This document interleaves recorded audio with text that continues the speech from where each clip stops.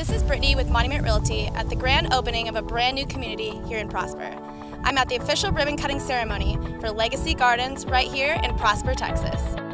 Home to one of the fastest growing cities in North Texas, welcome to Legacy Gardens.